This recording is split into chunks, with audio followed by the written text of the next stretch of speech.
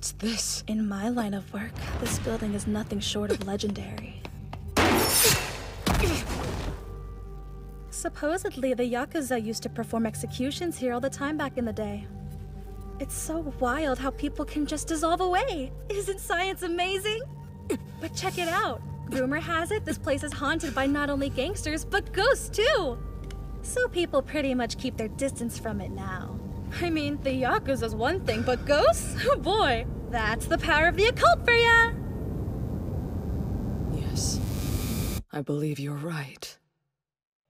Even with these eyes, I see them clearly.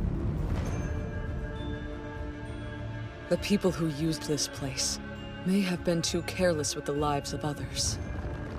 Interesting. If these ghosts are visible to me even in this body, then it's just as I thought.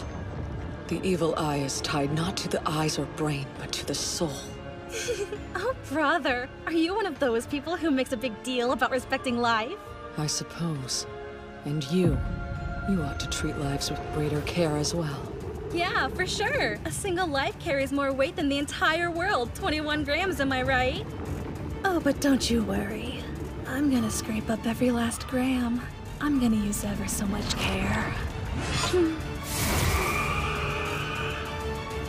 when I take your life! Shame on you.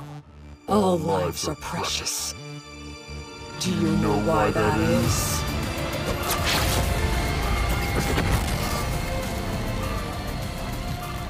They are my playthings.